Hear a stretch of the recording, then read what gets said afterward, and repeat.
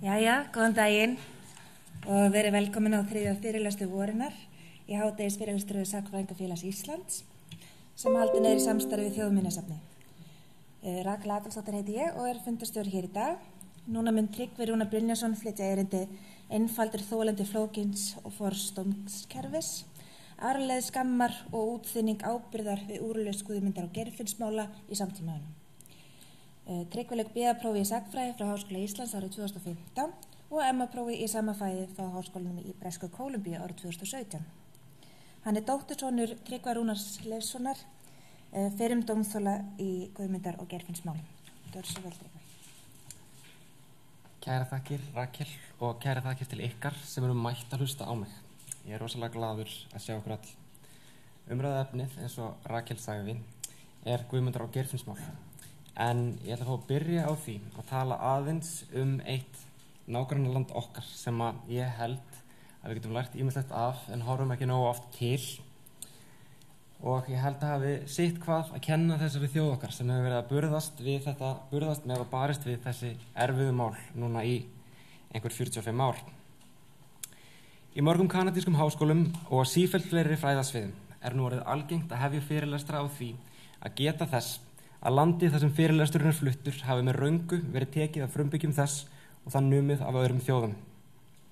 Tjáning þeirrar alkunnu og augljósu staðirendar felur ekki bara í sér stuðningsyfirlýsingu við einhver tiltekinn pólitísk markmið, ákveðins hóps eða hópa, heldur ber hún með sér eins og ég hef alltaf skilið hana, viðleitni fyrirlesara til þess að íhuga að sá sögulegi farangur sem að fólk ber með sér inn í salin sé mismunandi og misþungur. Í viðurkenningunni fælst henni meðalana skilningur á því að þeir kanadísku frumbyggjar sem sækja háskóla landsins eru mun líklar en aðrir til að verðir fyrstu úr sinni fjölskyldu til þess að hafa átt kost á því að sækja sér slíka mentum. Laungum hefur sín þeirra sem hafa farið með ríkisvald í Kanada kakart frumbyggjum þess lands einnkenst af skamsínum fordómum. Raunar enn í dag verið að staðalmyndinu vera svo að vandamál þessa fólks sem fyrst og fremst því að kenna að það komi á brottum heimilum, það sækist eftir að lifa á bótum í stað þess að vinna fyrir sér, það er erfileikum með áfengi og vímuefni, konurna þeirra verða óléttar og ungar, kallarna þeirra lemmi konuna sínar, að þau ráðu ekki við lífstilþengta sjúkdóma á borðu ofittum og svo framvegs og svo framvegs. Fordómar á borðu þessa er ekki síst afdrifaríkir innan kanadísks réttakerfis. En hlutfatslega eru frumbyggjar mun fjölmunari innan fangirsa landsins en utan þeirra. Frumbyggjar eru líkleri en hvít fólk til að vera dæmtir í, fíknefna og smákleipamálum, afsakið. Og svo eru þeir einni líkleri til að vera ránglega dæmtir fyrir alvarlega ofbeldiskleipi. Það að hefja fyrirlöstur á því að viðurkenna því upphaflega tráma sem að hendi þennan þjóðfélagshóp alls ekki það eina, en bara það upphaflega. Það sínir eða á að sína að manni standi ekki á sama um þann bakgrunn sem að fólk kemur með sem að hlýður á fyrirlesturinn. Það var ekki síst reynsla þessa fólks og bandamanna þeirra og þá sérstaklega af dómskerfinu sem að ég kynntist þegar ég var við mitt mestaranám í Vancouver á vestusturinn Kanada og gaf svo reynsla mér ákveðna mynd sem ég hef síðan geta haft til samanburðar við það viðfóngsefni sem er mikilvægast mér, minni fjölskyldu og okkar sögu. En það eru henni raungu og ránglátu dómar sem að afi minn og nafni Tryggur Rúnar Leifsson fjekk árið 1977 í Sakadómi Reykjavíkur og svo árið 1980 í Hæstarétti í sama máli. Ég myndi jáfnvel ganga svo langt að segja að Kanada hafi veitt mér þau viðmið sem að ég hef geta haldið í þegar mér hefur fundist ég vera að ganga af göblunum í mínum prívat viðbröðum við framgangi guðmyndar og gerfinsmála á ofnveru vettfangi síðastliðin áratug. Þeim atbyrðum sem að er þetta grundvallar þessar umfyllunar sem er eiga sér stað hér í dag. Það er ekki einhver sérstök lagfræðileg þekking sem að reynsla kanadísku frumbyggjana kennir unga útlendingum. Það sem er honum dýrmatast af þeirri reynslu hefur nákvæmlega ekkert að gera með það hversu vel kanadísk lögjöf og dómafordæmi lagast að öðrum samfélagsgerðum og úrræðum sem önnur lönd hafa fyrir hendi til að bregðast við raungum dómum eða ránglætri meðferð innan réttafæsta kerfisins. Þvert á móti er það einmitt það sem í gaggrinninni á kanadísk dómkerfi virkar á mann eins og einhvers konar anti-lagfræði sem talar hvað sterkast til manns. Það er framsetning þeirrar einlægu skoðunar að löndin begja með í norður allarsafsins hafi kannski byggt sér réttakerfi sem eigi það skilt að fólk í félagslega veikri stöðu upplifir þau, kerfin sem sagt, óvenju oft sem ómanneskjuleg, köld og auðmíkjandi. Mótefnið sem nefnt hefur verið er nefnilega bara mannúð. Svo barnslega tilhugsun að úrlausn ágreinings millir ríkisins og borgara þess að stefna að því að vera heilandi. Að hún eigi að sína að valdhafar búa við skilningi á stöðu jáðasettra og smánara hópa í landinu og sögunni á bakvið þá stöðu. Hlutir á borðið það að viðkenna að landi sem nú heiti Kanada hafi eitt sinn verið þeirra lönd. Sífælt sér maður þó marsera fram dómara, lögfræðinga, embættismenn, bladamenn og aðra sem að vinna í hennum ímsu hliðum hinn að mörgu og marg brotni uppgjöra í málefnum frumbyggja sem hafa verið að eiga sér stað í kanadísku réttakerfi síðastlina ára tíin. Sífælt sér maður fólk aða áfram ómeðvitað að þeir veriðist um þá sögu sem það gekk inn í einfaldlega með því að taka þessi verkefni tengdum þessum hópum. Fólki er bent á skildu sínar til að endurskapa ekki stigmu, viðkvæma smánar bletti, en gerir það samt. Því er sagt að afgreða ekki vantraust á vestrænum réttar úrræðum sem hættulega fáfræði. Heldur þvert að móti tala opinskátt um vantraust og viðkenna að það kunni að rétta sér. Samt er vantraust stundum ágreitt sem fáfræði. Mart hefur að vísu breyst og fræði greina sem fjalla um hluti sem að margi logfræðingar myndu örglega bara horfa á sem loftkjönt væl utan þeirra verksviðs eins og það sem ég hef verið að tala um varðandi mannúðina og sögurskilningin og virðinguna. Þess áttafræði greinar eru nú víða byrtar í virtum logfræðatímaritum og bara teknar heldur alvarlega. Ég byrja á þessum sögum frá Kanada hér í upphafi til að útskýra bæði, herru ég glemdi að setja þetta á, afsakið neg. Svona, þetta er hérna fórsíða mín. hérna, já, ég byrja á þessum sögum frá Kanada, þess að þér er upphafi til að útskýra bæði hvaðan ég kem og hvert ég er að fara með mínum málflutningi. Ég geri það til að kynna sum þeirra atriðan sem mér hefur fundist hvað mest vöndun á síðast liðin ár þegar komið hefur að framgangi guðmundar og gerfinsmála á ofnbjörgu vettfangi hér á landi. Þetta eru atriði sem snúast um valda ójafvægi, um skort á viðurkenningu, fordóma, gagvart fólki með bakgrunn félagsleira vandamóla og sársökan sem að fylgir nöbrum kynnum að réttakerfi sem kannast ekkert við ástæður sem fólk kann að hafa fyrir að vandristæði. Þessar spurningar og vonandi fleiri er eftir að koma upp á næstu mínútum í mínu tali. Og hafandi þá komið þessu frá mér er ekkert að vambúnaði en að byrja að greiða úr þessum titli mínum sem loksast að koma hérna upp einfaldur þólandi flókins og forns stómskerfis og skýra út hvaða likur eiginlega baki honum. Þessi titill er eiginlega niður sviða á minni greiningu og því hvernig afi minn hefur byrst í ofnverjum skýslum, úrskurðum og umsögnum síðastlegins áratugs. Þetta er niðurstaða greiningarvinnu á hundruðum og örgulega yfir þúsund blasina sem gefnar hafa verið út síðan árið 2013 og lýsi því sem ég sé sem ríkjandi skilning þannig að ymsu löglæriðu leikenda samtímans á eðli þeirra kynna afamins við Íslands réttakerfi sem kent eru við Guðmundar og Gerfis mál. En þau náðu eins og fólk kannski veit yfir allar setni helming 8. áratugs síðustu aldar.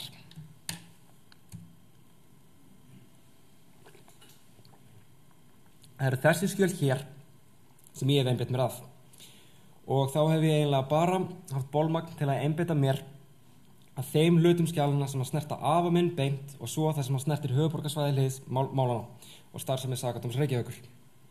En þess ber að geta að afi minn var aldrei fenginn til að játa á sig aðild í kvarfi Geirfinns Einarssonar. Fjárvistasönnun hans var einfallega það sterk. Hann var út á sjó þegar að Geirfinnu kvarf. Ég einbeti mér að þessum skjölum með þau rauk í kollinum að þessi tilteknu ofinberu skjöl mun að öllum líkindum vera þau sem hefur eftir að liggja til grundvallar þeirra þekkingar og þess skilnings sem framtíða kynnslóðir munum líklega að taka úr þessum atbyrðum og þeim personum sem koma fram í þeim. Það er ríkis stimpillin, svo staðarind að þessi skjöl hefur farið í genum ofinbæra kerfið okkar og munum vera varðveitt í ofinbærum skjálasöfnum til frambúðar. Fyrir utan þau hef ég að sjálfsög reynda rýna í og ráða í önnu skilabóð, miskýr sem þau hafa þó verið frá stjórnvöldum. Ég fylgst með viðtölum við ráðherra Ég hef reynd að lesa frumvörp sem lesin hafa verið á alþingi og reynd að skinja einhver, einhver skilabú út frá þeim en það bara stundum er ekki auðvöldasta verkefnið. Ég held að öllum ætti að vera ljóst út frá þessum títli einum og sér að ég hef vorið fyrir vonbriðu með það hvernig afi minn hefur byrst í þessum skjölum. En í þeim er, farin, er, en í þeim er farið ofan í flest þau gögn sem liggja fyrir um hans reynslu af fangelsum, rannsakendum og af dómstólum yfir tímabil lauruglur rannsóknarinnar á, á kvarfi Guðmundar Einarssonar og Gerfinns Einarssonar. Það voru ekki síst dagbækur síðumálafangilsins sem höfðu að geima upplýsingar við það hvernig afuminn brást við því að vera neftur í gæstu varðhald þar sem hann fekk að dúsa í einangrun í næri tvö ár, allan þann tíma að býða eftir niðurstöðu í því máli sem hann var sagaður um aðeitað og var svo vissum að hann er í síknaður af.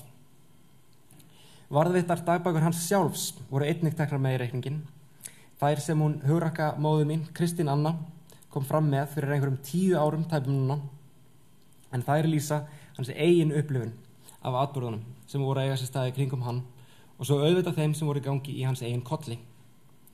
Ég kom með afrið af einnig þessara dagbóka hér og þeim með láta hann að ganga á meðan fyrirlasturinn stendur yfir. Þetta sem sagt til að sitja hann í samengi þá var þetta síðasta dagbókin sem að varðvittist og hún nær yfir þetta allra síðasta tímabill í einangrunni þegar hann er bara að býða eftir niðurstöðuna. Þannig að ég valdi þessa til að ganga út þegar hún er svona, það eru engar upplýsingar sem að getur talist viðkvamar eða eitthvað svona sérstaklega prívat. Þetta er einlega, er bara svona dagstagleg rútina sem hann er að fara yfir þarna.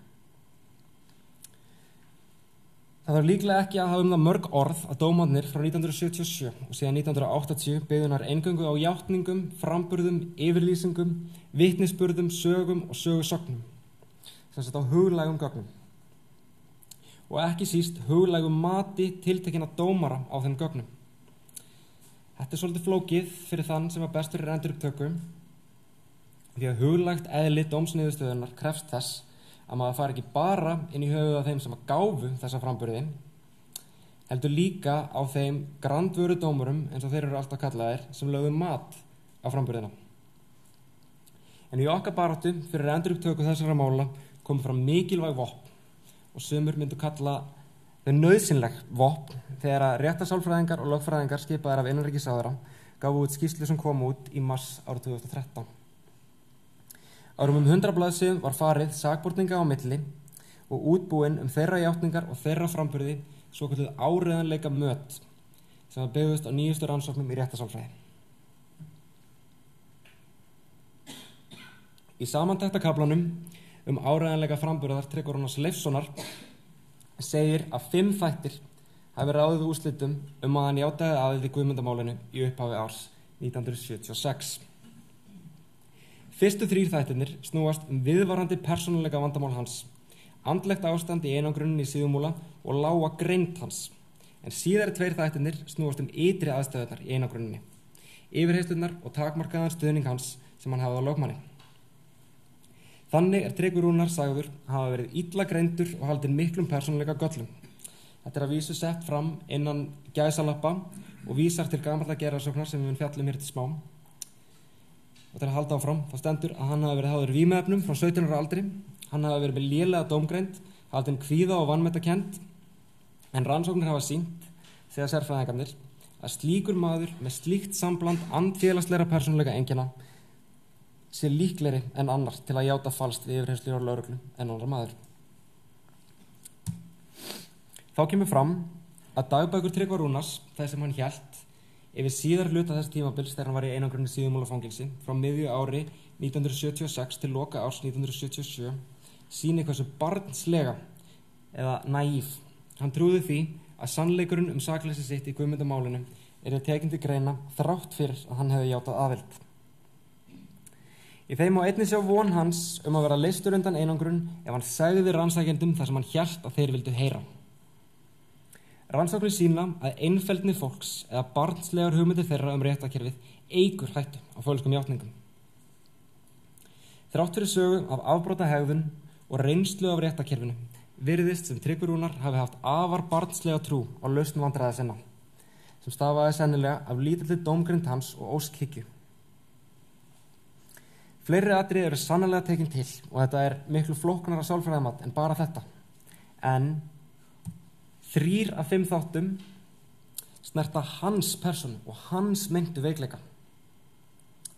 Þannig útilókast líka pláss, eða hverskis pláss sem að ég vil meina að hafi verið til staðar í sönunagögnum málsins til að sjá og sína afa minn bara alls ekki í gerfi þessa einfélnings.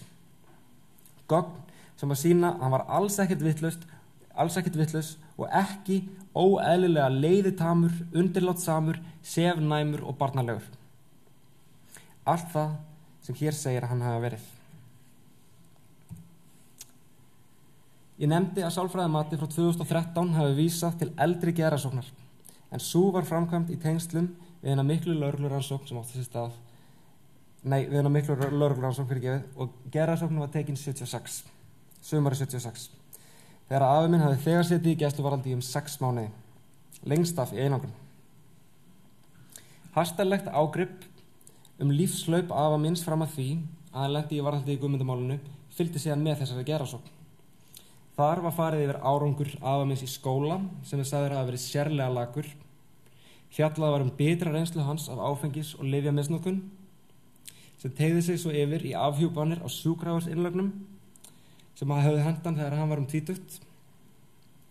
Sálfræðingarnir, sálfræðingur laðið svo fram, laðið svo fyrir hann ímis greindapróf, niðurstöðu hverra síndu að hann var í laglega gefin og illa upplýstur eins og það var orðað og síðan komum fram allskynnsgreiningar á ýmsum andfélagslegum persónuleika göllum auk yfirlýsinga um lélega dómgrind hans hversu hæfileiki hans til geðteinsla var í lítill og tilfinningar hans grunnar. Svo er þar á eftir farið í smáadriðum og hann í afbrótasögu hans hvers, hverskins kæki hann á með og svo framvegis og svo framvegis og þar fyrir utan má svo auðvitað greina ákveðir hlutverk sem hann spilar í ára sín á Guðmund Einarsson sem að rannsóknulörglan hafiði skipað honum í gerð þessara frásagna um hvað átti sem þetta hafa gert fyrir Guðmund Einarsson. En nýðustöður allra þessara rannsókna voru byrtar í hæstaréttadóminum 1980 alveg í blá lokin á því skjali eins og til að sannfæra þann sem að hugsanlega væri í vafa um hverskins mann hann hafði að geima að hann var svo seki. Punturum minn er þess að í fyrsta lagi sá að á okkar dögum hafa þessi gögn fengið endur nýjum lífdaga og í öðru lagi, og það sem er svo áhugavert finnst mér að skoða, er hversu auðveldlega þessi gögn fjallu að gera sannlega andstæðu markmiði, svo að, að sína hann sem saklausan mann. Í gegnum endurvinstu vélina fóru sem sagt þessi sömur ráefni úr gerasókninni frá 76 og komu út hinn með andstæða niðurstöðu. Það er í öllu falli vafasamt held ég að byggja á prófum eins og því sem lagt var fyrir afaminn sumar 1976 við gerð einhvers áræðanleika matsrúmum 40 árum síðar. Við þarf á afaminnsti sálfræðingana verðast til dæmis að hafa verið freka neikvæð ef markam á skrif hans sjálfs í dagbókina sína. Það sem hann kallaði þá pleppa. Orðfæri sem er frekar ólíkt honum en hann talaði alltaf vel við fólk sem kom fram að verðingu við hann. En slíkt neikvægt viðþorf hlýtur af að setja sitt mark á próftökuna. Dagbækunar hans dekka þó ekki þetta tímabill. Við vitum raunar ekki í hvernig ástandi hann var þegar þessi próf voru tekin. Kanski var þessum papýrum bara hent inn í einangrunna klefan hans eins og var gert í tilfelli Sævars í Selskís og við vitum vegna þess að það var skráð í dagbók síðumála fónginsins en í tilfelli afamins þá bara vitum við það ekki.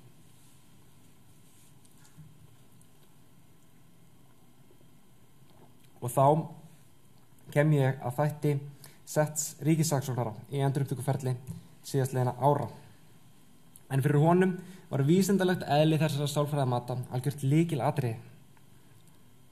Þannig má lesa í afritum af vittnalegslum höfunda sálfræðamatsins hvernig settur ríkisaksóknari bað þá að bera vísendina baka þessi sálfræðamöt saman við DNA-próf og fleira slikt. Þó hann hafi fengið ansi halgóð svör frá sérfræðingunum sér það hver maður að svo samanbörður gengur enga veginn upp. En settur ríkisaksónari vildi þess að fá þetta á hreint. Kanski því hann kaus í sínum umsögnum við endurhuttöku beinum dómþólana að gera sálfræðamötin að þessum líkil skjölum eins og að hugsanlega fullnægðu kröfum lagana um endurhuttöku dæmdra mála. Niðurstaðan var sem sagt, já, endur upptökum þetta mál, síknum þessa menn, en gerum það á þessum grundvelli. Þannig má lesa í umsögnunum við beðnunum okkar hvernig settur ríkisaksónari, svo litið eins og fyrirrennarar hans í því embætti, afgreðir þau ímsu gögn og rök sem að liggja fyrir um stórkvæslega mistök við rannsókn máluna, um misnótkun á valdi og hreinlega rétta spjöllum hvernig hann afgreði þau á sama hátt og þau hafa alltaf verið afgreitt af embætti saksónara.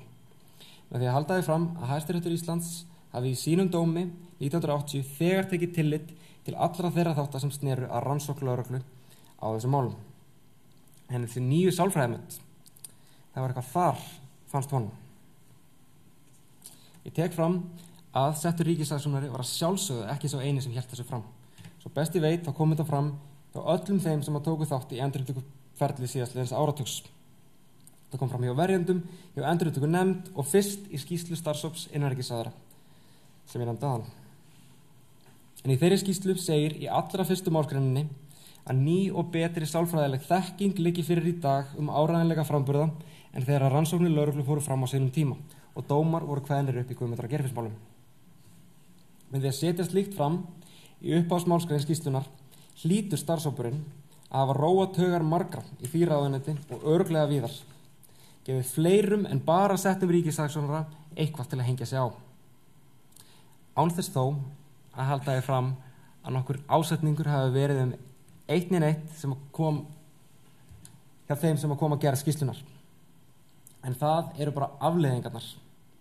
Róaðar tögar, útþyring ábyrðar. Önnur hugsanleg afleðing sálfræðamatsins og tesunar um vísindilega framfarir er að annars vegar frýjar hún rannsakenduna að hluta þeirrar ábyrðar á því hvernig fór fyrir þessu fólki og setur hana á þá sem að játiðu falskt. Það liggur í augum uppi að þessi áhersla spila niður þátt kerfisins og kerfiskarlana sem munu kannski bara, ef að þetta er aðalatriðið, hafa verið að tólka lagabókstafi þess tíma og fylgja þeim reglum sem störð þeirra gerur ráð fyrir. Innlegg setts ríkisaksonara í bland við snubbóta niðurstöðu hæstaréttar frá því síðasta haust sem hafa svo gott sem ekkert um málið að segja hefur gert það að verkum að þessi tólkunarmöguleiki er í rauninni ennþá opinn. Ég segi það þó að ég viti það að enduröftöku nefnd hafi ekki gert þetta að einhverjum svona aðalmáli í sínum úrskurði en það, bara, það hefur ekki verið tekið neyn formleg afstafa til þessara hluta og þessari kenningu hefur ekki verið nekt. Engin ástæða er til að draga í ef að þær framfæri sem hafa ástu stað á sviði réttasálfræði eða varpa skugga á framlög þeirra vísindagreinar til baráttu hundruða og jafnvel þúsunda ránglega dæmdra manna sem hafa verið eða eru jafnvel enn í baráttu fyrir sínu réttlæti. Með því að draga þetta fram eins og ég er að gera vil ég engangu benda á hvað þetta getur orðið að mikilli átillu hjá þeim sem vilja, horfast, sem vilja forðast að horfast í augu við raunveruleika valdmiðsbeitingar og ofbeldis. Eins og hægt sé að kenna heilu tímabili um einhverju sögulegu skeiðin sem að yfirherslu aðferðir og mat á framburðum voru frumstæðari og óvísendalegri enn í dag. Það merkilegast á, finnst mér, er þó að þetta gengur enga veginn upp. Við í fjölskyldinni veitum alveg hvernig afi minn var og að þessi mynd af honum er kolröng. En gögnin bera reynilega ekki með sér að mínu mati að þetta nýja sálfræðamat um afa minn sem einhvern einfældning sem bara vissi ekki betur þau bera það ekki heldur með sér að það sé rétt dagbækurnar sem að mamma minn kom fram með sem að afa minn skrifaði sína hvorki snefil af veikleika nýja af greindaskorti heldur fyrst og fremst sína þau ótrúlegan styrk og seglu hjá manni sem að nýtti tíman í einangrun til að byggja sig upp Ítarlegri og örlátari aðtugun á þeim dagbókum held ég fram hefði sínt þeim sem, þarna, sem hafa farið með mál hans hverskins maður hann var. Ekki bara hvað sagleysi hans var þar, heldur líka þessi neikvæðu og smánandi karakterenginni sem hafa verið til skoðunar og ég verið að tala um. Ég ætla að taka eitt dæmi úr dagbókunum vegna þess að allan tíman sem menn voru að mynda sér skoðun á hann um afa mínum lágu þær fyrir. Þetta hér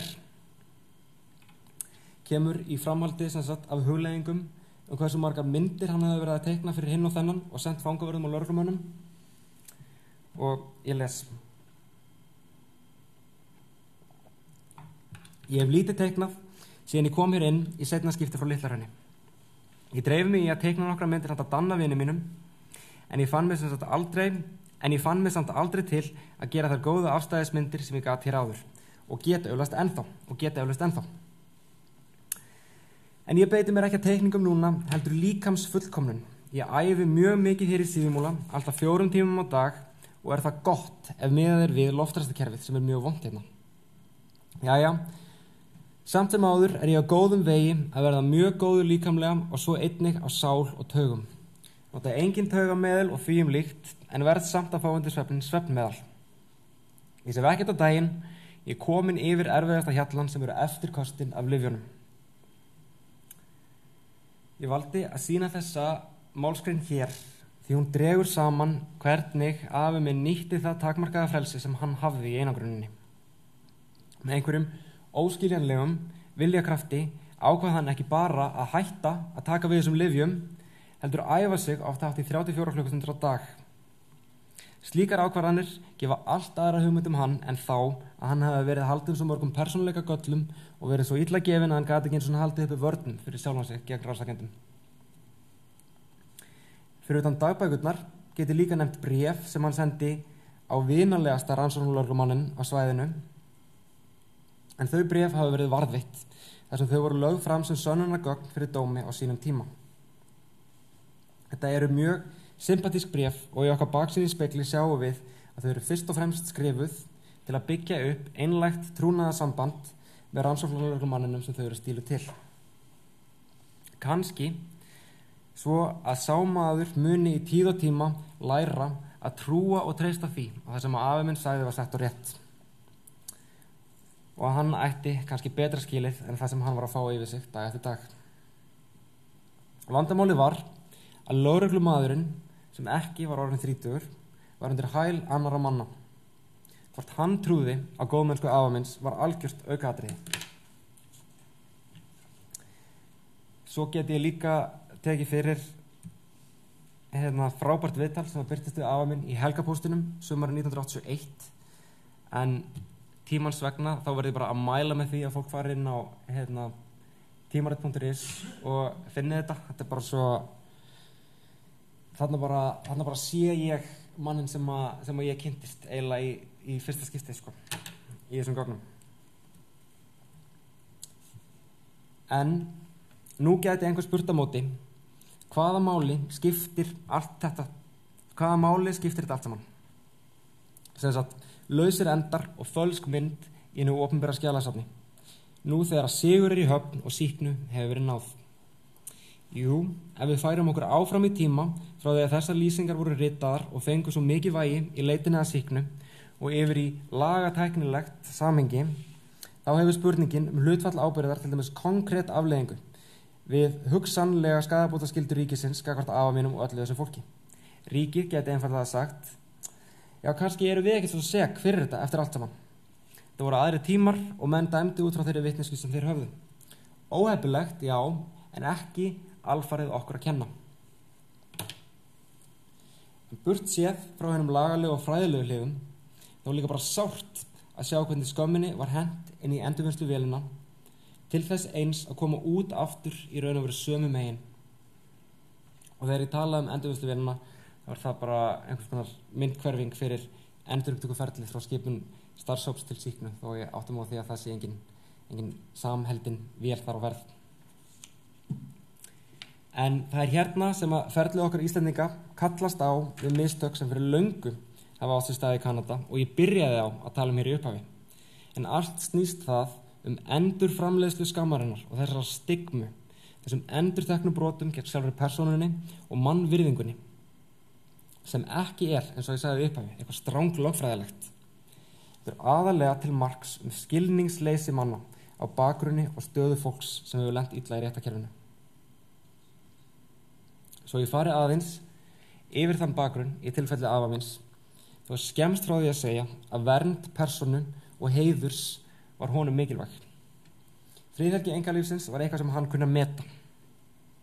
Kanski var það reynslan að hafa verið svo grimmilega sviftur fríðhelgi sem mótaði hann á þann veg. Kanski var það eitthvað bara í persónuleikanum sjálfum. Ekki veit ég það. En alla tíð eftir að hann komst út verðist afi minn hafa viljað skíla sér og okkur fjölskyttum frá því að hendur ríkisins næða að tegja sig inn á heimilið okkar. Segðu okkur hver við værum eða hvernig við áttum að lifa. Það er vengar sérfræðing, held ég, til að gera sér grein fyrir því að træða afa minns til dæmis til að taka þátt í ofnbyrju umræðu og bara áttu fyrir réttlæti í guðmundara gerfisbálum á tíunda áratögnum hafa á einhvern hátt tengist þessu gildismati á mikilvægi friðhelgis engalífsins.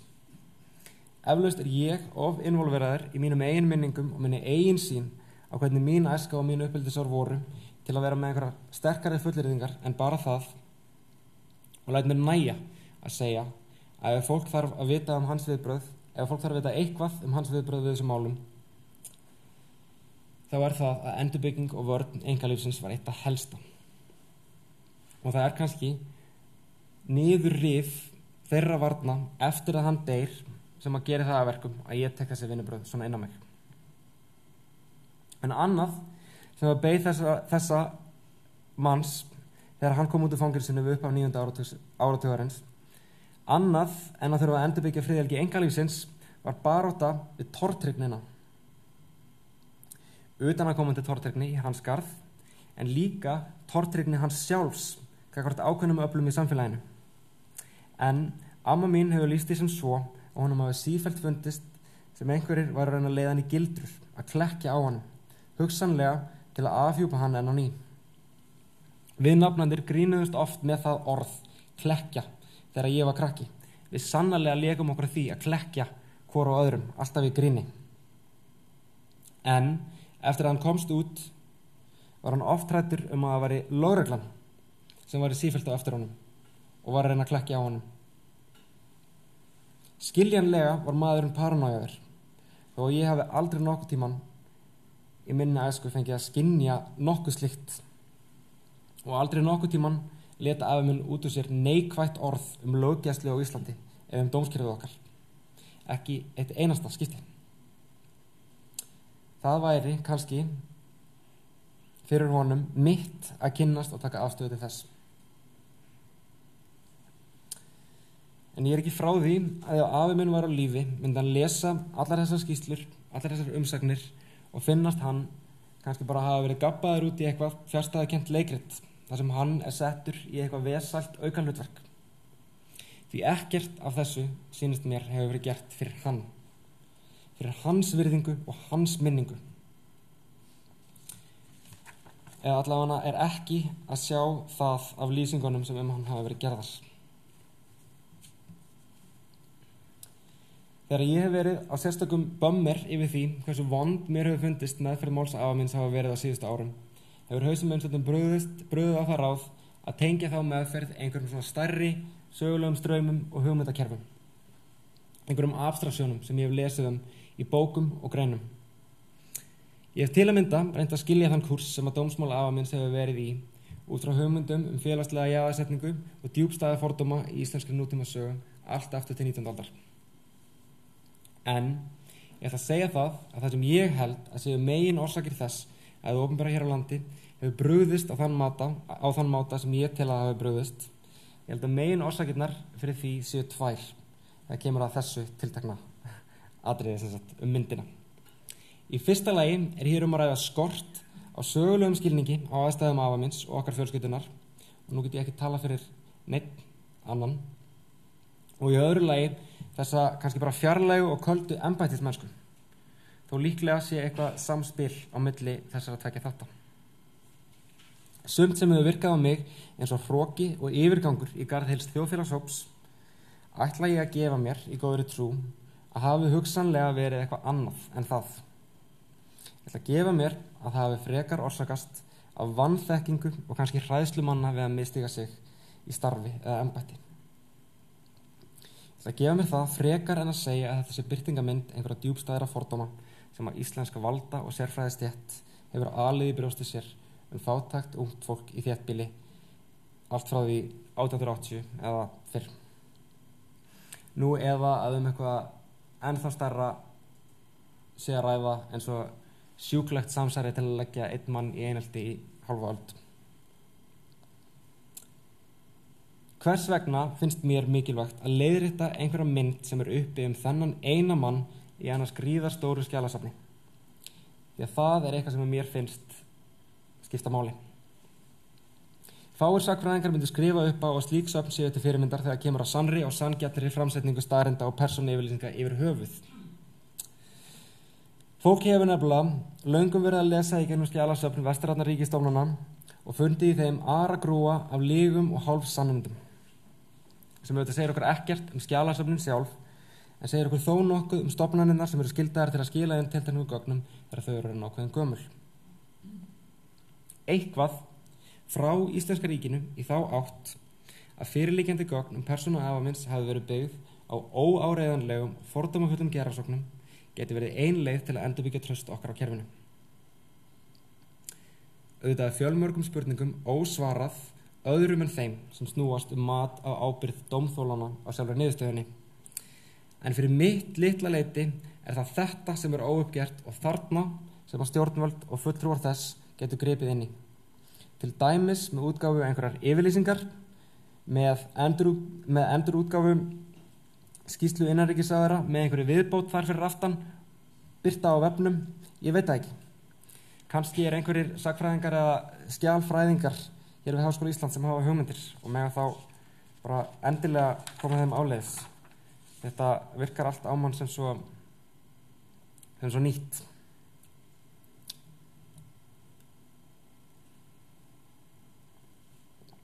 Og þá er auðveldi hluti fyrirlastarins búinn.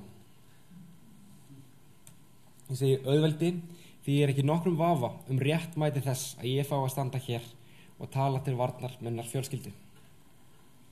En það sem ég langar líka að tala um, eins og kom fram í auðlýsingunum fyrir þennan fyrirlestur, er misræmið á milli meðferðarinnar sem persóna afa minns hefur fengið annars vegar og hins vegar meðferðarinnar sem mennirnir sem gerðu afinu þetta allt saman hafa fengið. Raunar alla tíð frá því að þeir fældi yfir honum og öllum hinnum þessar röngu dóma. Ég tjáum um þetta því ég tel að eitthvað sé í húfi fyrir samfélagið að þessu umræða sé tekin. Það sem hefur byrjað að gerast á síðustu árum á vettvangins ofinbera skal tekið fram er kortlagning þeirra hliðar okkar sögum sem að snýr að lögreglu og dómsvaldinu sem var við lífi hér á landi frá setna stríði og fram til 1977. En það ár voru gerðar afgerandi skipularsbreytingar á meðferð sakamála og sá, ásaki, sá málaflokkur færður í það horf sem við kunnist við í dag nú þegar svo kallar ákæru réttarfar hefur verið fest í sessi. Sannanlega hefur verið þörf á slíkri kortlagningu fyrir óinnvíðan eins og mig. Oft hefur maður verið hálf ringlaður að blaða í gegnum lörglu og dómskjöl frá þessi tímabili sem að ég hef gert ekkert alltaf í tengslu við guðmundur að gerfismál. Maður hefur verið ringlaður við að átta sig á því hvar verksvið hvers hófst og hvar það endaði. Og það var einlega skýrsla starfsóps innarrikiðsagara sem ég er hérna, stanslust að vísa í sem að, sem að hjálpaði mér við að, við að skilja þetta. En það kemur fram að þessi mörg hafi reynilega bara verið eðli málsins samkvæmt óskýr. Dómarar fórum með rannsóknar og vald, þeir voru að senda sönunagögnar saksóknara sem heriði dómsmálræðanitið. Þeir voru beinilins að byggja saksóknara um einhverja ákjæri út frá fyrirlíkjandi gögnum og dæma síðan sjálfur í málunum. Samt var það ekki þannig í öllum tilfellum á 7. og 8. áratögnum, eins og ég hef komið stað. En það sem að Guðmundar og Gerfins mál eiga einmitt að sína svo glögt er þessi tókstreita sem að var á þessum tíma millir tveggja kerfa. Það er eins svo kallega rannsóknar réttafars þar sem sakadómarar sérstaklega voru viðrinnir bæði rannsókn sakamála og málsmeðferðina sjálfa fyrir dómi og síðan ákjæru réttafarsins sem við kannast við í dag. En svo ég segi þá er besta umræðið sem ég hef lesið um þetta að finna í skýslu starfsóps innanrikiðsæðara en hún gefur bæðið sögulegt yfirlit á dómskerfi eða kerfum þessa tímabils en fers síðan yfir suma þeirra mjög svo áhugaverði erfiðleika sem að hópurinn lendi í við öflun gagna frá þessu mjög svo óskýra tókstreitu tímabili. Vegna þess að allar þessar breytingar sem hafa orðið á dómskerfinu hafa haft sínar afleiðingar á varðveitlu gagna. Skjöld tiltekina stofnunar hafa kannski farið um víðan völl og það hefur ekki alltaf verið ljóst hver átt að vera ábyrgur fyrir hvaða hluta þeirra. En um guðmyndar og gerfinsmál höfum við hellingagna og sína hver gerði hvað og hvenir. Gögnin eru alls ekki tæmandi eins og þekkt er og ég myndi segja að miða við hversu mikið var gert úr ég fáum gögnum í tilfelli afamins að þá hefur við alveg nægan efni við til að byggja sannfærandi persónuleika greiningu á allavega nokkrum karakterum þannig. Ekkert slíkt hefur hins vegar komið fram á síðustu árum. Þessi menn hafa alveg verið látnir í frið henga til. Ekkert sálfræðimat hefur verið framkvæmt og það er að síður framkvæmt og sett í samengi við persónulegan bakgrunn einhvers tiltekins dómara eða rannsóknulegur manns og þá veikleika sem að kunni hafa komið honum út á óhellabraut svindlerís í embætti og refsugleiði. Ég hugsa til dæmis um það hvernig yfirsakadómari í Guðmundaragerfismálum, Gunnlaugur Brím, tók að sér að banna, banna lögmanni afamins að tala einslega við hann. Hvernig hann síðan kvartaði yfir látlösu kvappi í aðstandendum og fleirum sem gerði það að verkum að hann hefði kvorki frið heima nýja í vinnunni. Sami maður tekur upp tólið og tilkynni fangaverðum að brín nöðsinn sjá að framlengja einangrunnavistina um þrjá mánuði viðbútt. Trekk í trekk. Bara fyrir einu ári hefur verið hægt að segja þessi Gunnlaug var dómari og ekki gerandi í nokkrum skilningi Bara, og hættum einhverjum dilgjum um látin mann. Og ég get alveg sett mig í hans spór. Hann kom úr flottri fjölskyldum, hann hefði getið notað lögfræðiþekkingunni sinna í eitthvað allt annað en að bara að taka að sér erfitt og illa borgað dómarastarf. Kannski gera það bara af einskjæri hugssjón ég veit ekki. En nú er rángur dómur orðin að staðrind á sama tíma og skömminni og ábyrðinni hefur ekki verið skilað. Nú hugsa ég líka um orð Guðmundar Haldanarssonar sem er profesor hér í Sakfræði, eða við Háskóli Íslands í Sakfræði, í grein sem hann skrifaði fyrir þó nokkrum árum í sögu um kynni sem íbúar undir eigaföllum áttu við nýja síslumannin sinn, Pál Brím, undir lók 19. aldar. Það er mjög áhugaverið saga sem ég get enga veginn endur tekið hér, en endaði með því að játningar voru gefnar fyrir hitt og þetta, fjölmarkir voru settir í farban eða gæsluvarðhald fyrir allskinn sem í dag myndu kallast smáglæpir og gerði þetta ófáa íbúana reyða og betra í garð síslumannsins. Guðmundur skrifar og setur í samengi við eflingu ríkisvalds á þessu tímabili að í stað þess að hafna grundvelli þess valds, í stað þess að hafna þeirri heimsmynd og skinnjun sem að Páll stóð fyrir og beinti þessi menn óánægjunni einingöngu gegn fulltrúanum sem gekk erinda kervisins. Og í þessu felast vissulega ymsar hættur og ekki síst takmarkanir fyrir þá sem eru bara að reyna að gera sér í hugulend hvers eðlis það órétt læti sem hefur hend á sé. Þetta eru nefnilega bara nú sem þá abstrakt ennbætti og menn eru að þér viðist engöngu að fylgja lögum og reglum.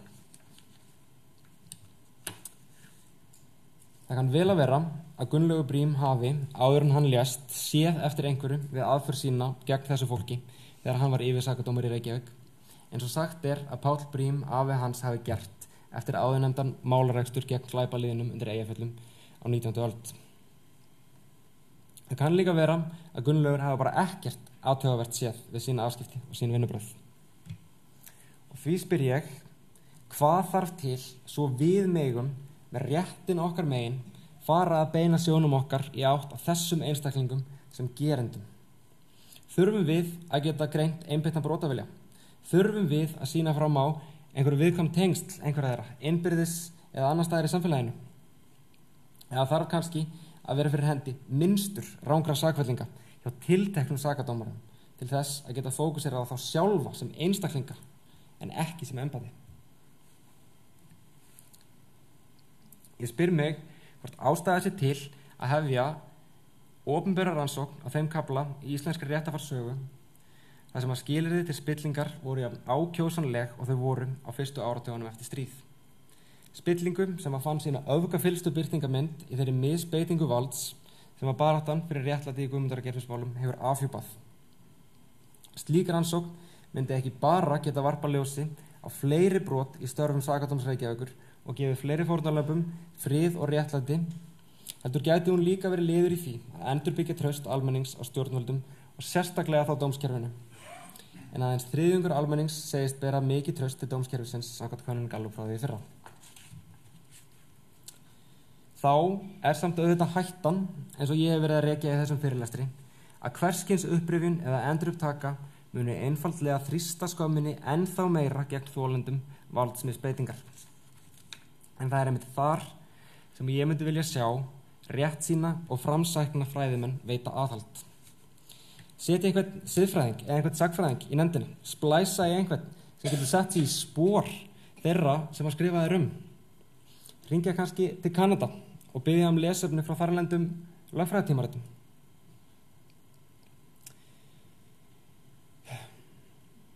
Ég veit ekki hvort að þetta sé raunsætt markmið. Það sem að ég hef tólkað út úr sín núverandi ráðherra dómsmála er að það sem hún hefur fengið út í sögu guðmyndar að gerfinsmála er að ríkið þurfa að gera meira til að verja nöfn og persónli sakbortninga. En þetta mun einhverjum geta gæst, sínist manni, fyrir tilstilli aukinar leindarhyggju, aukinar persónavendar. Þetta tel ég að sé ekki alveg rétt tólkun á langri sögu guðmyndar að gerfinsmála og ég hafna henni. Það sem við þurfum er ekki leind, heldur upplýsingar, upplýsingar til að fara á hann í fleiri gögn en núverandi persónavendar lögjöf gerir ráð fyrir. Og það er einhver þannig baráta, held ég, sem að geti verið raunsætt markmið fyrir einn eða fleiri sakfræðing. Takk fyrir.